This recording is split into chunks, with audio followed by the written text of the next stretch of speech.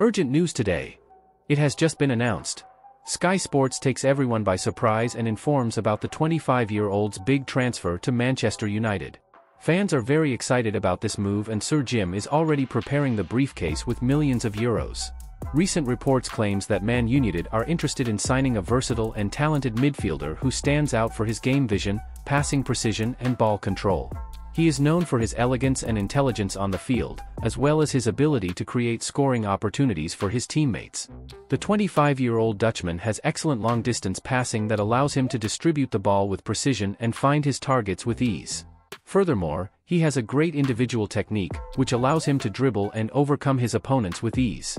Another admirable quality of the central midfielder is his ability to read the game and anticipate plays, which makes him a very effective player in intercepting passes and recovering balls. Furthermore, he is known for his determination and commitment to the team, always giving his best on the field and seeking to contribute to the team's success.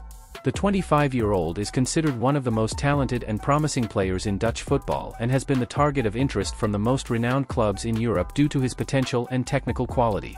At just 25 years old, Joey Veerman has a bright future ahead of him and will certainly continue to delight fans with his creative and effective football.